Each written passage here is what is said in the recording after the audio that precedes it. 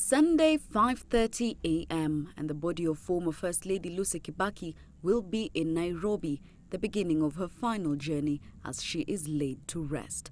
But before the 3 days of national mourning are declared and the condolence books across the country opened, her final resting place is currently the main focus for her family, friends and security personnel planning a state funeral in which every detail is of essence from a security point of view.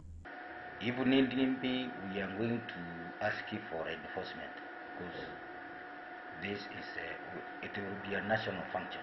The local committee, we have gone around uh, the institutions that we have around, the infrastructure that we have around, the compounds that we have around, the road networks that we have around, to see what fits where. From the custodians of traditional rites, we would like God to give Mama Lucy's soul eternal peace wherever she is going to be till we meet her again.